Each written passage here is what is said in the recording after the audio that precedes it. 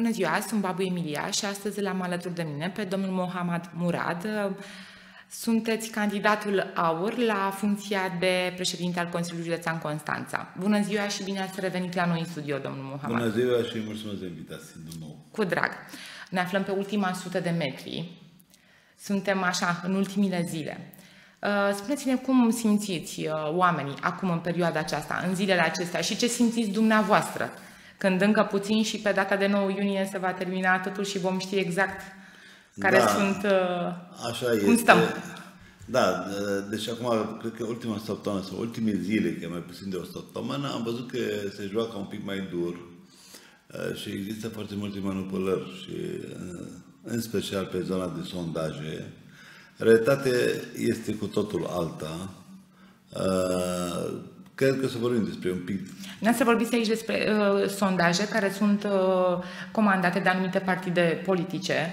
Și uh, aici de ce le vedeți? Cum le vedeți dumneavoastră? Nu sunt reale? Sau uh, cine nu, le nu. face, el este câștigătorul? Nu, nu, nu. Sigur că ne dă pe noi că nu avem și șansa. În realitate că aur chiar suntem undeva acolo lângă PSD și eu, ca persoană, depășesc uh, scorul partidului. De asemenea, și Ovidiu are un procent două peste partid. Și sunt, se joacă și la Consiliul San, sunt trei variante acum mari și clare. Uh, de asemenea, la primerii din Constanța. Ce sunt variante trei, sunt la Consiliul Județean? Ați spus de trei variante de la Consiliul da, Județean. Da, sunt trei, trei candidați care se, se bat, vă spun foarte sincer. În, din, Care ar fi? Dați-mi nume. Uh, e vorba de domnul Florin Mătoi PNL, care da. are un procent și care scade în fiecare zi. Uh, domnul uh, Grasă, care crește în fiecare zi, așa o creștere lentă, dar există creștere, și eu care am la fel de o, o mică creștere de ultima săptămână, de, când, de săptămână încoace. Cam astea sunt uh, persoane care au șanse. După opinia noastră? Da, după opinia și după primele așa, informații care uh, ne-au provenit din București, uh, că a făcut un sondaj partidul la nivel național, un sondaj mai care undeva de vreo 4-5 zile s-a lucrat la el. Sper să avem în cât mai scurt timp acest sondaj să avem în față să vă comunic. Păi, mai este încă foarte puțin timp până... Da, cred că azi, mâine o să apare sondajul dacă nu în seara asta, cu siguranță cred că după masă o să ne vină, o să vă pun la dispoziție să vedeți exact realitatea, pentru că mai e foarte puțin. Cel mai important sondaj, până la urmă, este ziua votului și atunci o să dați seama, uh, comparație cu tot ce se spune, că am plecat de la Mitroi cu 65%, uh, și văd acum s-a așezat la 30% și dacă mai era încă o săptămână, cred că s-a așezat la 20%. Credeți dumneavoastră da, să... sigur că partidurile PSD-PL au uh, un pic șansă mai mare, dar pe altă parte trebuie să recunoaștem faptul că peste 60% din oameni nu mai vor să repete aceeași poveste. Că Constanța e foarte clar. De 8 ori a votat, au votat ca să fie mai bine, de foarte puține ori a fost oameni surprinși plăcut. Poate pe vremea lui Mazăre, că a adus un pic mai mult de viață în, uh, în orașul Constanța, dar nu și în județ, lucrul a fost mai ok. Uh, și chiar uh, eu, ca lucrător din turism, uh, am simțit că inima bate. Vara e lumea, sunt foarte multe evenimente, a fost ok. Nu pot să zic. Dar în rest e complicat uh, să mai zică cineva că am uh, votat bine. Pentru că niciunul n-a, n-a lăsat așa, dacă vă întreb acum orice Constanțian, cine a fost acum 10 ani, în afară de Mazare, care ține minte, Cred că la Consiliul Stan mai puțin țin minte oameni cine a fost la Consiliul Stan. De ce credeți că se întâmplă? Se, pe se întâmplă pentru că în viața noastră, în fiecare dintre noi, vine, trăiește mii de zile și nu lasă amprenta unde a trăit. Și asta ce mai trist Adică lucru. credeți că ar fi trebuit făcut mai mult pentru județul Constanța din partea președintelui Consiliului Județean? Cu siguranță. Adică toată lumea mă acuză pe mine că n-am experiență în administrație. Acum vă întreb. Cine vă acuză? Păi, am văzut pe toți contracandidații mei vorbesc despre experiența mea în administrație. Și am zis tot timpul, n-aș vrea să fac, să fac schimb între administrație care fac ei sau experiența care au ei cu experiența care am eu. Eu întotdeauna am plus valoare, știu să mă, mă modelez la, în orice situație, dar ei sunt oameni care sunt foarte preocupați de partea formală. Adică ce înseamnă formală? Costumul, gravata, mă așez la masă, seara fac un șpriț, deci Constanța nu poate continua așa. Vă spun o chestie.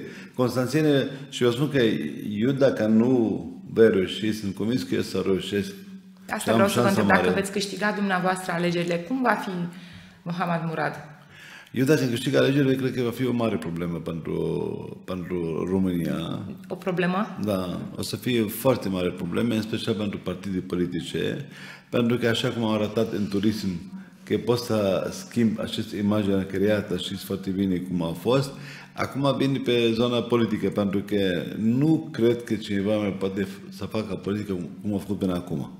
Va fi o persoană foarte tranșantă și transparentă, un, un exemplu de a fi la, alături de oameni, de a veni cu o soluție, de a face din Consiliul în un hotel de 5 stele, modul care deservește oameni, primirea oamenilor va fi cu totul alta, e o problemă. Și atunci nu mai poate să fie la fel cum e acum în Calaraș sau în Slobozii sau în altă parte.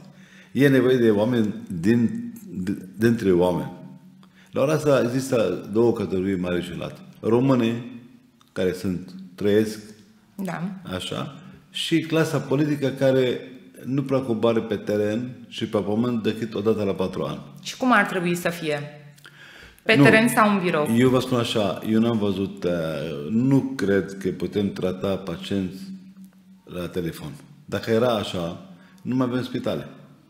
Și atunci, orice medic are nevoie să vadă pacientul, să uite atent la el, să vadă toate așa materiale care am făcut, o semiologie, încât să pot să duc la un diagnostic corect nimeni nu poate trata probleme care are Constanța decât dacă te duci pe teren. Văzând cum este teren și cum este județul, eu sunt convins și m-aș fi bucurat foarte mult. Dumneavoastră ați fost pe teren, ați fost în județ. Da. Cu ce ne confruntăm? Nu avem soluții. În 2024. Nu au soluții, că nu au viziune. Am fost ieri, de exemplu, uh, la Gânderești. Eu n-am văzut în viața mea, pe și noi în Liban avem zone superbe, de exemplu, da? Dom'le, dar am văzut așa ceva. Atât de frumos. Și ce m-a șocat foarte mult, erau 8 copii la vârsta de 12-15 ani, stăteau pe o piatră la înaltă de vreo 13 metri și uh, am intrat în discuție cu ei, atât de frumos vorbeau, am zis că sunt lopovene acolo, și atât de bine puneau problema și că visul lor este să nu plece din țară. Și am întrebat, îmi garantați că nu plecați din țara dacă găsiți de, ceva de lucru aici? Și au răspuns patru da, patru au zis că nu, că dacă nu o să avem ce face. Deci avem pentru cine să luptăm și avem pentru cine să schimbăm lucruri în bine. Vorbește domnul George Simion uh, foarte frumos despre dumneavoastră și, spun, uh, și spune așa, îl citesc pe dânsul acum. Îi mulțumesc pentru că, deși născut altundeva, este un patriot român, dovedit prin fapte.